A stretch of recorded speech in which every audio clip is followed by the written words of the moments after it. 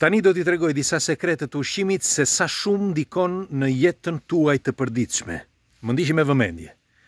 Për shembull, do ta filloj nga këtu, E para njer, e dini se sa ushqim ha njeriu gjatë gjithë jetës?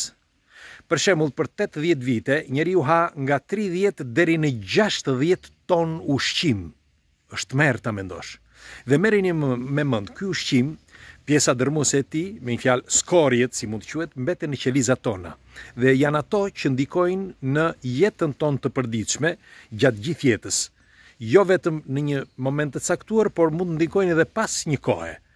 Për shembull, unë që jam pesëdhjetë e pesë vjeç, por dhe ata që duke filluar nga mosha dyzet e sipër, Kryesisht, dhimbja e mesit në mëngjes shkaktohet nga ushqimi.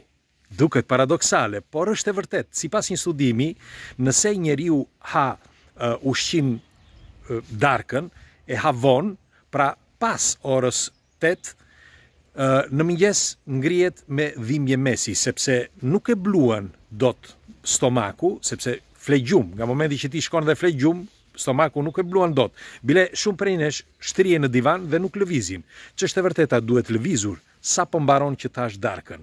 Sepse nata është tepër e rëndësishme, nuk fle mirë, ke dhimbje, etj etj. Bile ke edhe aritmi dhe aritmia vjen shkak i mosbluajtjes së ushqimit.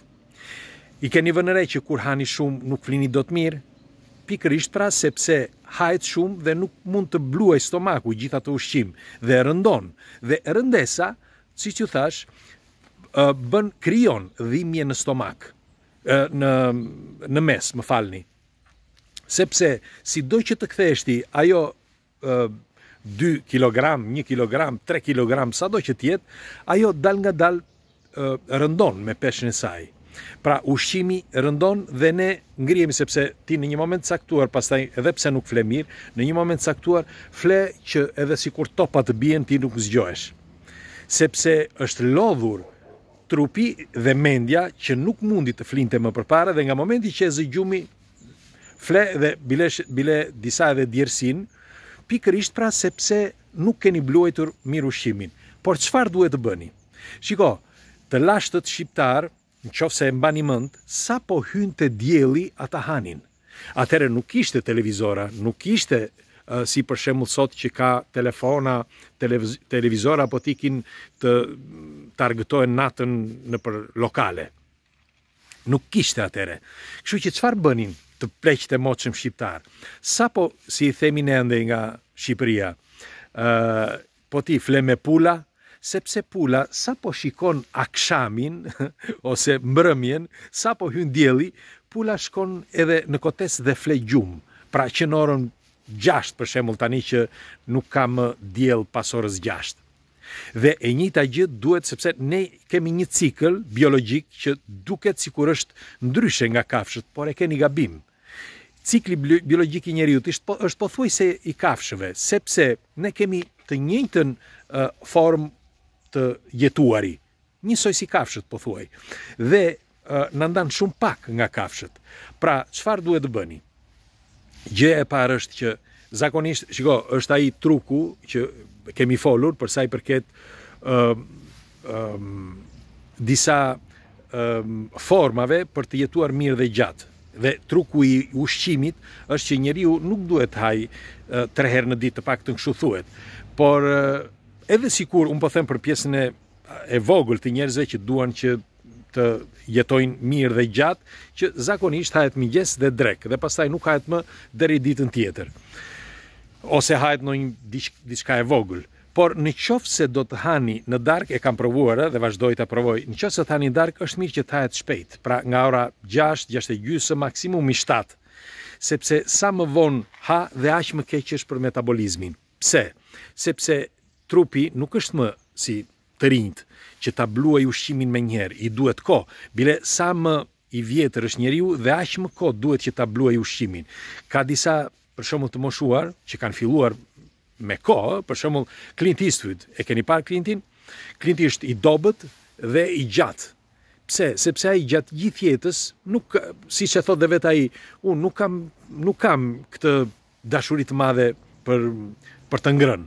Dhe ha pak, bile e kam reduktuar jashtë mase, thot ai tani që jam i vjetër, tani që jam plak, thot e kam reduktuar jashtë mase, thot ushqimin. Në fakt, ai tani ka shkuar 93 vjeç dhe ai pretendon që të shkojë të paktën të kapi 100-in, ë 100 vjeç.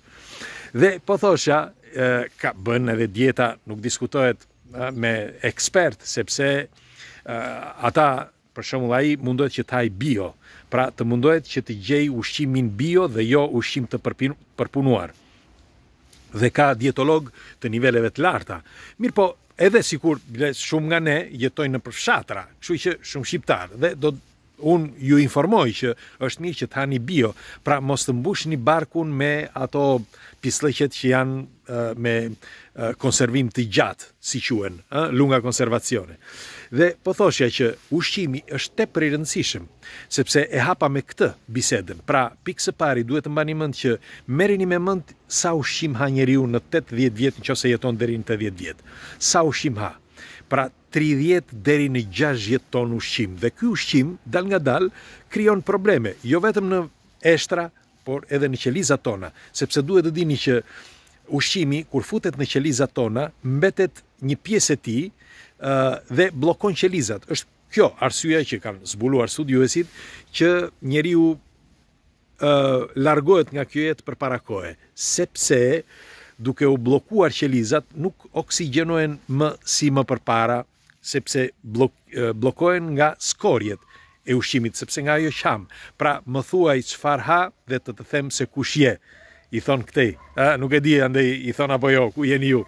Por do të dëshiroja një komentin tuaj për këtë argument sepse është tepër i rëndësishëm për të gjithë. Për shembull sot u çova me dhimje mesi. Dje hëngrëm darkë vonë sepse u ktheva u ktheva vonë dhe hëngra vonë. Mirëpo u shkon ulesh në divan, nuk bën lëvizje dhe çfarë bën? Edhe nuk flem gjumë mirë gjatë natës, për më tepër ke dhe dhimje mesi, si për shembull unë.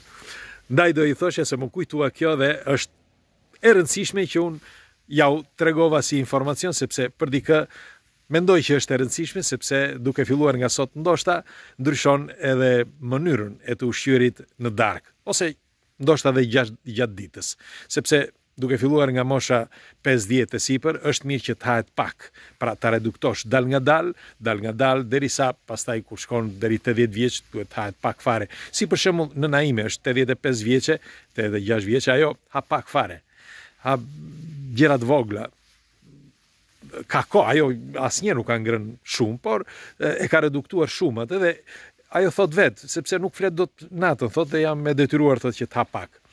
Pra, shpresoj që këto informacione të jenë të dobishme për secilin prej jush.